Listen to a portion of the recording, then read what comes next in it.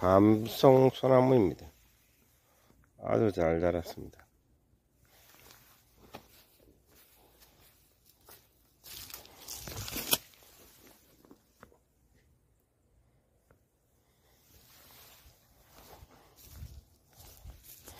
딸기나무 산딸기입니다. 산딸기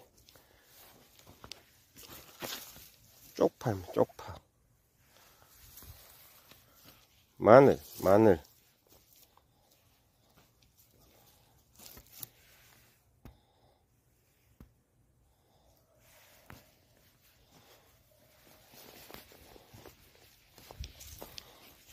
양파입니다.